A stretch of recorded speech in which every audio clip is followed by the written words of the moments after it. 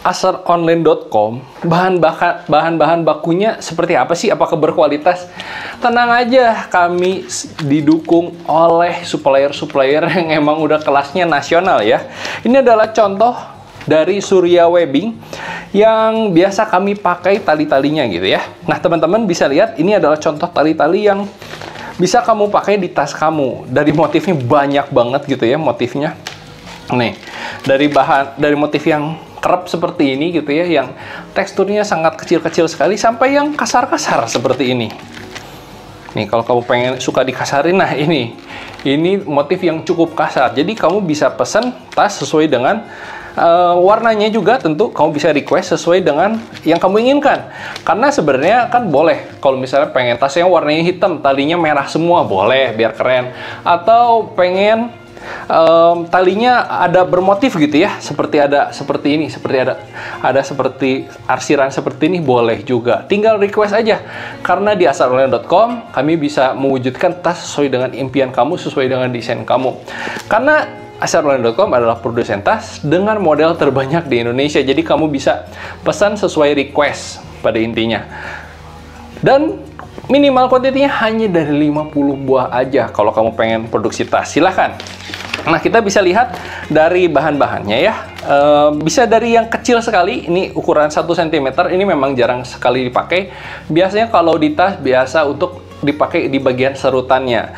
Kalau di 2 cm ini seperti apa? Ini pasti memang untuk tambahan, tali-tali tambahan, biasanya untuk di tali dada misalnya. Kalau misalnya um, dua setengah di mana? Biasanya di tali untuk di ransel, nah atau di selempang, tas sling, tas kecil gitu ya. Kalau yang tas uh, selempang besar harus yang 3,8. Nah 3,8 yang lebar seperti ini supaya lebih nyaman dan juga supaya lebih uh, enak pada saat kita membawa tas tersebut kan uh, area yang menopang tas tersebut akan jadi lebih besar.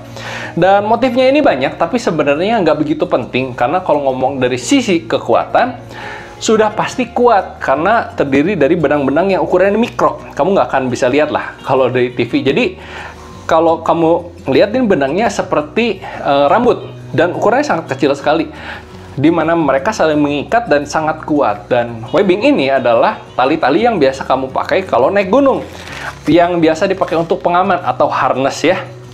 Nah, kalau misalnya kamu pengen ada motif bisa juga. Motifnya seperti garis di tengah gitu ya atau ada garis terus ada zigzag seperti ini boleh.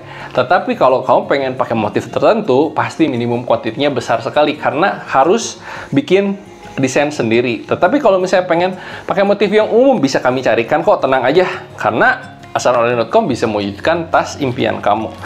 Lalu kalau ngomongin webbing, biasanya pakai webbing apa aja? Nah, webbing seperti ini ini adalah motif LS atau arsir gitu, arsir ke samping seperti ini atau motif yang sederhana aja. Ini adalah motif LT gitu ya, yang di mana motifnya ya biasa saja, umum seperti bintik-bintik gitu ya. Dan kalau misalnya kamu pengen produksi tas, kamu bisa mewujudkan tas impian kamu hanya di asalonline.com saja dan tenang aja, kami sudah menggunakan supplier supplier supplier yang emang kualitasnya udah nasional gitu ya dan mereka udah terbiasa produksi minimal dari 10 tahun. Yuk, segera pesan di asalonline.com dan wujudkan tas impian kamu dengan cek link yang ada di deskripsi. Minimumnya hanya dari 50 piece aja, tapi tentu sesuai dengan uh, tas yang kamu inginkan ya. Kau bisa wujudkan tas impian kamu karena asarland.com adalah produsen tas dengan model terbanyak di Indonesia.